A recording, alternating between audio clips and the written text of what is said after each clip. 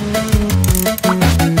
Welcome to Retro Arcade Reviews. My name is John, and in this episode, we will be reviewing the arcade classic Karnov. Karnov is a side-scrolling platformer that was developed by Data East in 1987. Now, when I was a kid, this game filled me with wonder. I mean, the character was so original and mysterious. He looked like some kind of mythical genie or something. I always wondered if Karnov was part of some sort of Middle Eastern or Arabian lore I didn't know about, like Ali Baba and the 40 Thieves, or something like Gilgamesh. As I did a deep dig on the game, much to my disappointment was that Karnov, the character, wasn't based on any Middle Eastern myth or anything at all. It does have some iconography to create an impression of Middle Eastern ambience for the story, but that's as far as it goes. According to the arcade flyer, Karnov is a Russian circus strongman in search of the lost treasure of Babylon, and based on the character's appearance, I would have to say, yeah, he does somewhat resemble a Victorian era style circus strongman. However, in the 2002 book Cho Arcade, three former anonymous Data East developers in a roundtable interview state that the likeness of Karnov was a spitting image of a boss at Data East. So basically, Karnov's appearance was just based on three guys who decided to make fun of their boss. But apparently, it didn't stop there as Karnov makes numerous appearances in several Data East games. In this game, you play as Jinborov Karnovski, also known as Karnov. As stated earlier, you're on a quest to find the lost treasure of Babylon. You must